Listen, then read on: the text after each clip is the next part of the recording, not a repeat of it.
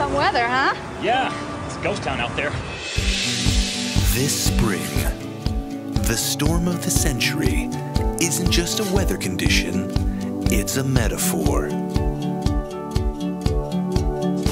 You'll laugh, you'll cry, you may even learn something about yourself. That's what a family is, Max. Krampus. Oh, right, and there's a terrifying monster.